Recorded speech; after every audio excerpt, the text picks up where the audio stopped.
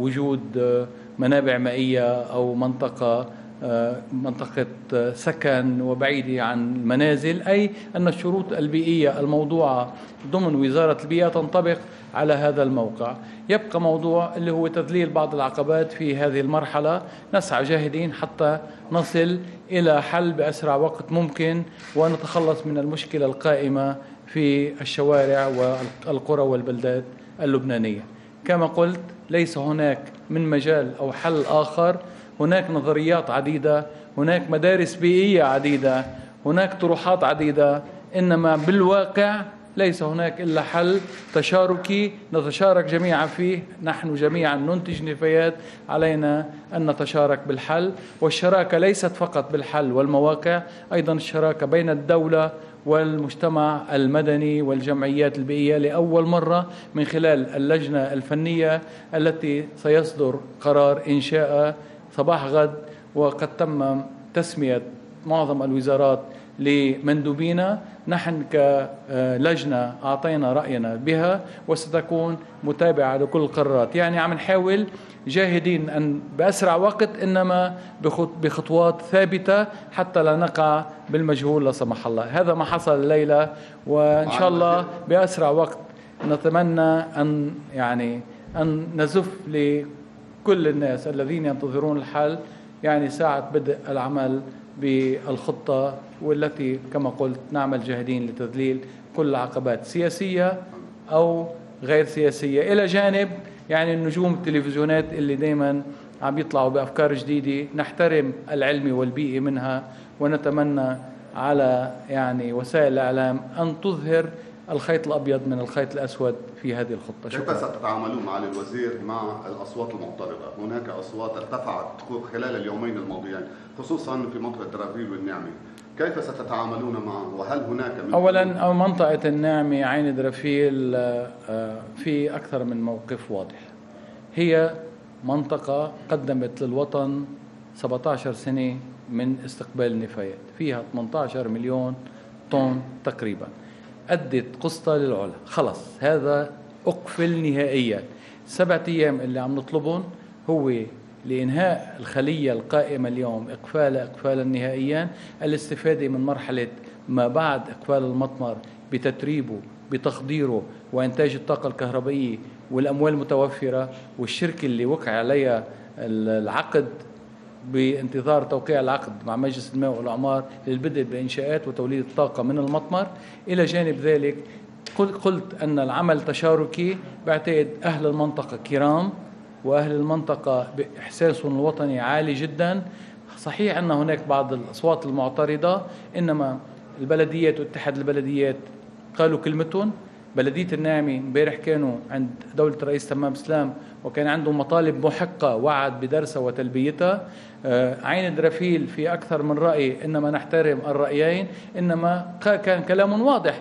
نحن مع الخطة إنما موضوع الإقفال أو الفتح هو الإقفال حصل خلص لن يكون هناك فتح مرة أخرى. في سبعة أيام لضب كمية من النفايات موجودة بالشارع. اللي موجود بالشارع خمسين ألف طن.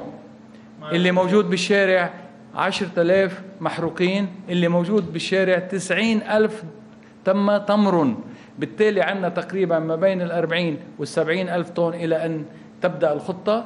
في عندنا خلية ممكن استيعابه وإقفاله نهائيا لأنه الخلية خلية علمية صحية. وأكثر من هيك بدي أقول أنه الذي قرر الإقفال طبعا الحراك الشعبي طبعا أهالي المنطقة إلى جانب القرار السياسي.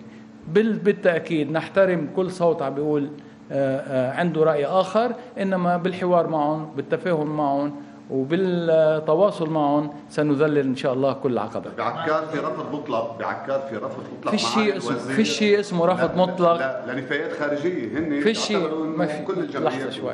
الآن نسعى إلى تحويل مكب سرار إلى مطمر صحي. نعم. وبدأ العمل منذ يوم أمس بالتحضير إلى هذا إلى هذا العمل. اثنين هي عملية تشاركية. موضوع موضوع تشاركي.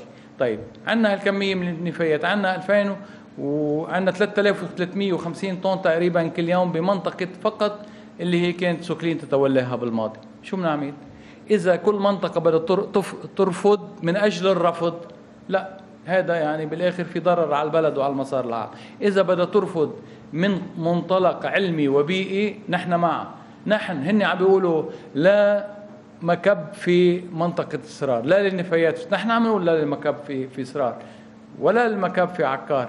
نحن معهم للناس. نحن عم نحول لهم المكب إلى مطمر نتعاون بكمية معينة ب يعني مسار إنمائي للمنطقة وبعدين ما ننسى إنه العاصمة كلنا عم نعيش فيها.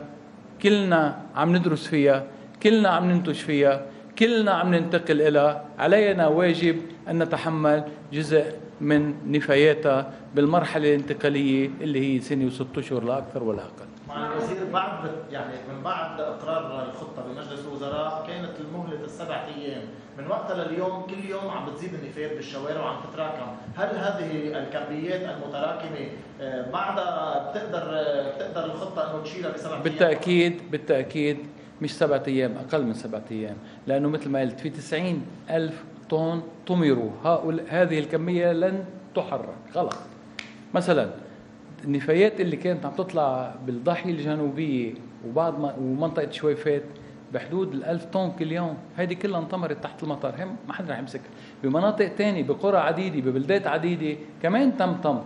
اللي هي بالشارع اللي هي بالكارنتينا اللي هي بالمخازن حتى نقدر نطلع يعني نفايات صالحة للفرز وللطمر مرة جديدة. جولة الاتصالات اللي عم تعملها قديش بعد بدها الوقت لتبلش لحظة الصفر؟ قال لك. إن شاء الله إنه اول ما نذلل كل العقبات رح نبلش ورح نعلن قبل 48 ساعة عنا للتحضير للعملية بشكل كامل. بدها أسطول كبير بدها كمية من ال... تنقول مثلا سبعة أيام. بدهم كمية من الأتربة والرمل حتى تطمر دغري.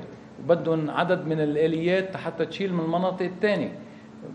وتنقل للناعمة وبنفس الوقت بدك آليات تنقل على المناطق الجديده فبالتالي عملية تكاملية واسعة بالتالي نسعى جاهدين إلى الوصول إلى حلول بأقرب وقت ممكن. في عوائق إيه في عوائق؟ في مشاكل إيه في مشاكل؟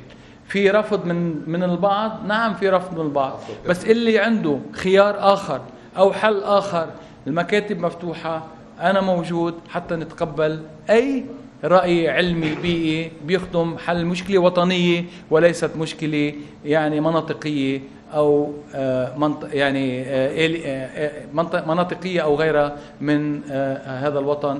اللي هذا الملف قد يكون الملف الأخير الذي يبحث يعني على الطاولات إن كان طاولة الحوار أو بمجلس وزراء. وأؤكد هون للحراك الذي نحترم ونقدر هذا نصر لهم. خذوه. لو منكم ما تحرك الملف لو ما حرك الشارع ما حدا وصل إلى حلول فليستفيدوا من هذا الملف ولينطلقوا إلى ملفات أخرى. هذا نصر إلن والجدية عم بتصير لأنه في عين واضحة.